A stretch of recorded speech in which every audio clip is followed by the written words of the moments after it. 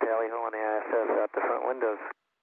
Flight day three of shuttle mission STS 133 showing a successful link up of shuttle Discovery to the International Space Station on its final flight. Rendezvous activities got started early Saturday morning as the shuttle crew, Commander Steve Lindsey and his crew, got busy with uh, engine firings that brought Discovery up underneath the International Space Station. My call initiating RPM 3 from there, they performed the uh, standard rendezvous pitch maneuver, a uh, head over heels backflip of the shuttle that allowed station crew members using uh, digital cameras with high powered lenses to uh, capture imagery of the heat shield tiles on the underside of Discovery. They're looking for any evidence of damage done to that thermal protection system by debris on ascent or uh, subsequently on orbit. They then proceeded on into the docking, which took place at 1:14 Central Time, the 13th and final docking of Shuttle Discovery to the International Space Station.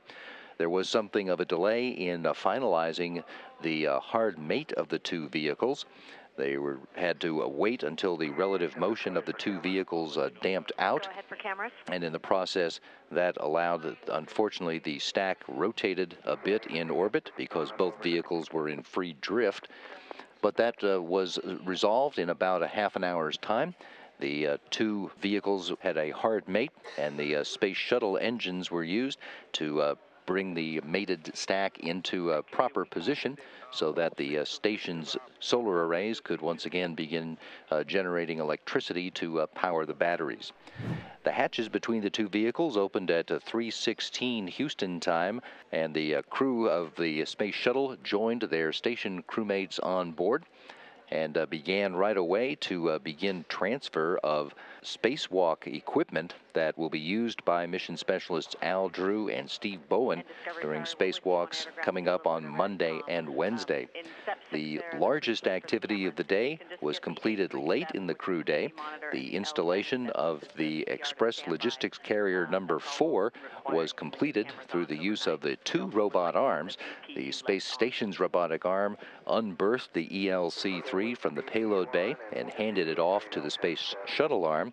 Then the station arm changed its base of operations from the Harmony module to the mobile base system. From there, it was commanded by mission specialist Nicole Stott, operating out of the cupola module to uh, reach back out and take a grip once again on ELC 4.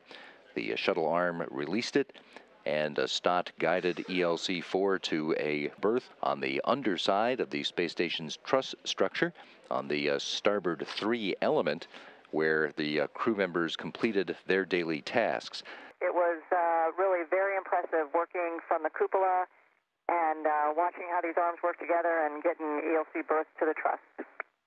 Thanks for those words, Nicole, and you guys rock. It was wonderful watching you from here.